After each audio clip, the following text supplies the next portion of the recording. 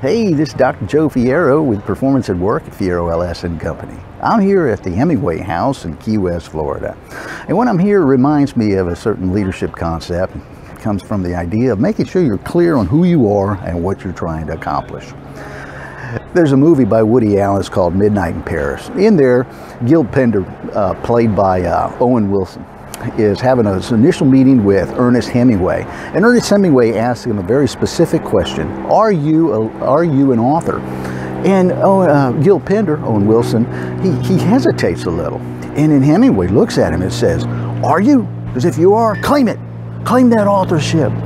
And the same thing applies with leadership. I know that when I have conversations with team, teams, uh, team managers and leaders, I'll ask them, is what's your position? You know, are you the leader of the team? And they kind of balk a little bit at it. Well, I think that's a little, uh, the reason for that is because they don't know how to define leadership. You know, they're not sure about that, but that is essential to make sure you're clear on your role with that team. So how do you define leadership? One organization I know of uh, defines it as you influencing others to achieve a goal. Another definition I know of from the Leadership Challenge is, is the art of influencing others to want to struggle for shared aspirations. So whatever it is for your organization, make sure you're clear and then claim it.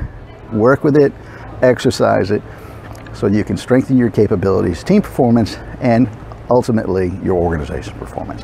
Thanks for listening. If you like this video, please hit the like button and then also share it with your friends.